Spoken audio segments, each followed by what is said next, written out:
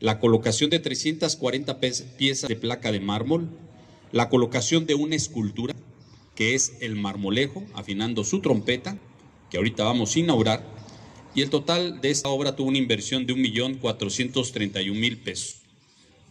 Quiero también ser muy claro.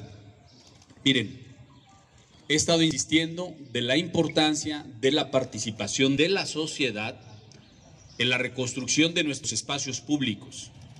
Y yo quiero agradecerle a José Luis Escalera, quien él es, hay que decirlo, un referente de su labor ciudadana. Es una persona crítica, es una persona exigente,